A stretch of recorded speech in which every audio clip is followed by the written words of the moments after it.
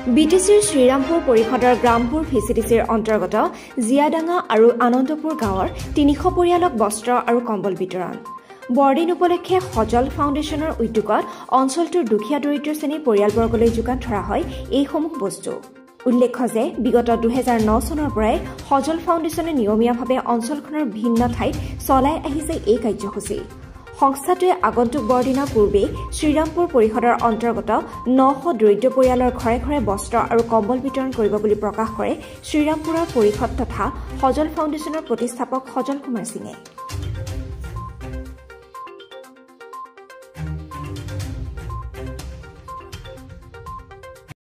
তৰফৰ পৰা বৰদিনৰ উপলক্ষে চবকে আমি আমাৰ এই তিনি নং শ্ৰীৰামপুৰ সমষ্টি অঞ্চলত চবকে আমি বস্ত্ৰ আৰু কম্বল বিতৰণ কৰিম বুলি প্ৰত্যেক বছৰে কৰোঁ এইবাৰো কৰিম আৰু আজিৰ পৰা আমি আৰম্ভ কৰিছোঁ। আজি আমি আনন্দপুৰ আৰু জীয়াৰডাংগা অঞ্চলত তিনিশ পৰিয়ালক আমি কম্বল ডিষ্ট্ৰিবিউশ্যন কৰিম আজ কৰি আছোঁ আজি।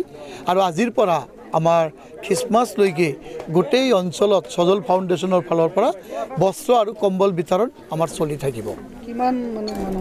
আৰু বস্ত্ৰ five thousand total nine thousand পৰিয়ালক আমি কম্বল আৰু এই খ্ৰীষ্টমাছ উপলক্ষে আমাৰ এই দুখীয়া ৰাইজক আমি ঘৰে ঘৰে বিতৰণ কৰিম। আজি এইটো কি উদ্বোধন? আজি উদ্বোধনী কাৰ্যসূচী আৰু প্ৰত্যেক বছৰে আজি টু থাউজেণ্ড নাইনৰ পৰা মই বা আমাৰ সজল ফাউণ্ডেশ্যনে গোটেই পৰ্বত আমাৰ দুৰ্গা পূজা অলপ দিন আগত গৈছে আপোনালোকে চাইছে তাতো আমি বস্ত্ৰ বিতৰণ কৰিছোঁ। আমি আমাৰ ৰমজান মাহত আমি আমাৰ যে মাইনৰিটি মুছলমান ভাইসকল এখেতক আমি বস্ত্ৰ বিতৰণ গোটেই অঞ্চলত আমি যি আমাৰ পৰৱ আছে গোটেই পৰৱত সজল ফাউণ্ডেশ্যনে সদায় দুখীয়াৰ লগত থাকে।